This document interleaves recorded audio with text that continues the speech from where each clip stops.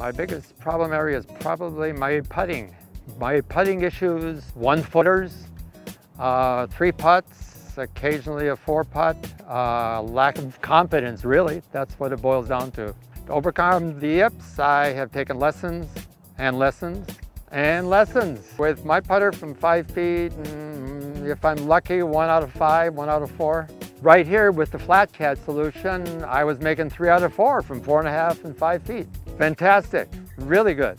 When I'm first holding on to the, the grip, I'm, I, I feel more comfortable holding it. Uh, I'm not struggling so much. The best part, as far as I'm concerned, is in the takeaway, it's nice and smooth, and coming through is nice and smooth. My stroke is already smoother with the flat cat solution. I have much more control over the putter in terms of both going back, in terms of the speed, and in terms of how my hands feel on it. I have never tried anything that's worked like this with my putting than the flat cat solution, never.